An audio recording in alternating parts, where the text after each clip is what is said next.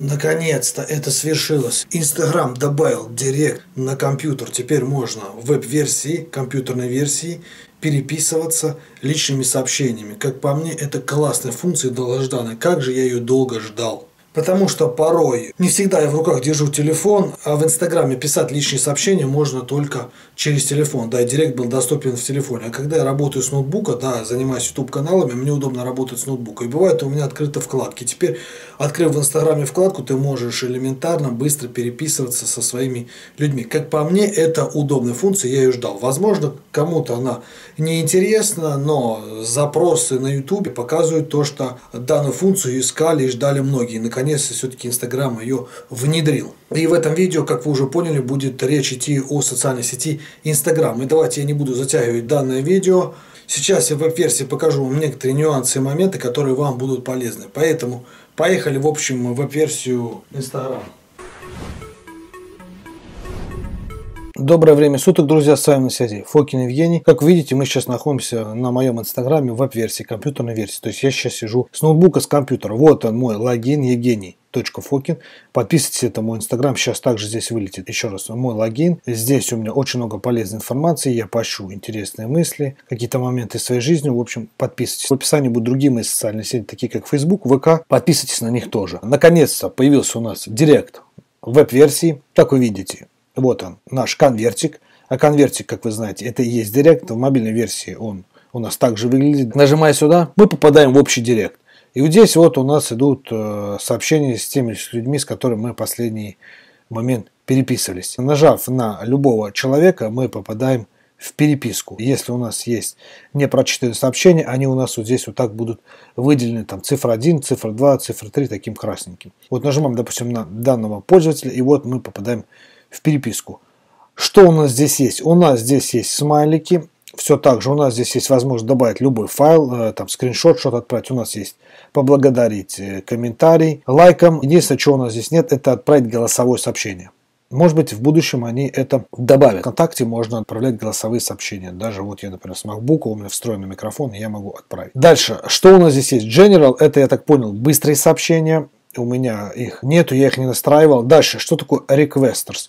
Requesters это наши запросы, неодобренные. Вот как вы видите, здесь какой-то прислали мне спам. Нажимая сюда, мы попадаем вот на запрос. И здесь мы можем посмотреть, одобрить этот запрос, удалить или заблокировать эту пользователя. Что такое запросы, как они работают, давайте я размещу в правом верхнем углу в подсказках данное видео, чтобы у вас было более детальное понимание. Какой здесь нюанс есть в директе? Для того, чтобы нам написать какому-то человеку, что нам нужно сделать? Нажать на вот этот карандашик. здесь у нас появляется список. Нам нужно выбрать нужного нам человека, например, вот мы выбираем его. Вот у нас здесь отмечается, мы нажимаем Next и попадаем опять к данному человеку. Мы начинаем переписываться. Дальше мы здесь можем выбрать, берем одного пользователя, второго, одного, второго, третьего, нажать Next и у нас уже образуется чат. Вот образуется чат, где вот мы можем переписываться с несколькими человек. Это вот такой момент. Видите, появилась однерочка. Вот так вот у нас выглядят непрочитанные сообщения. Но если мы захотим написать человеку, неизвестному нам,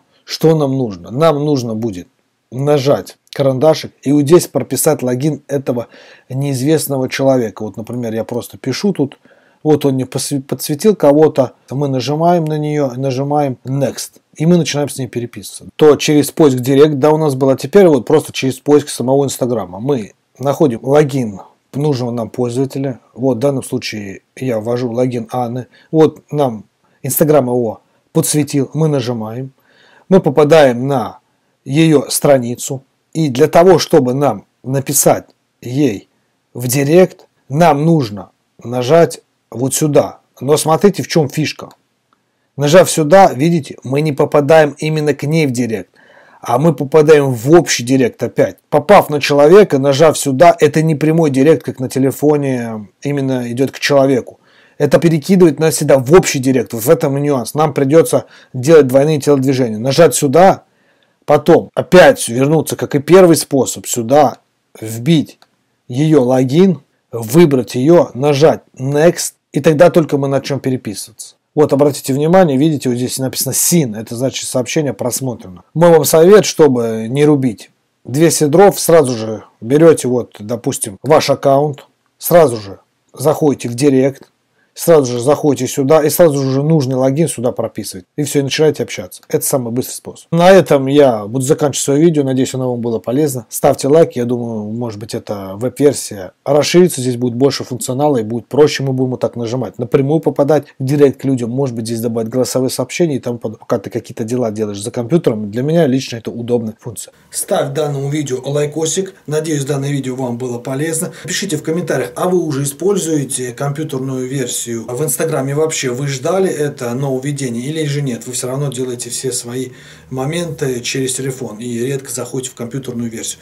Также не забываем поделиться данным э, видеороликом со своими друзьями. Возможно, им это будет полезно и им удобно будет работать именно в Инстаграме с компьютерной версией. Не забываем подписаться, как всегда, на мой YouTube канал. Будет очень много полезных видеороликов по социальным сетям. Дальше в том числе поговорим про Инстаграм, про Фейсбук, про ВК будем говорить, про YouTube будем говорить и много чего еще мы будем здесь говорить и рассказывать. На этом я буду заканчивать свое видео. Как всегда, увидимся на просторах интернета. Не забываем подписываться ко мне в социальные сети. Все ссылки в описании. Там я рассказываю много полезной информации. Только если вы добавляетесь, вы хотя бы пишите мне, что вы там с YouTube. А то большинство людей добавляется и молчит как партизаны.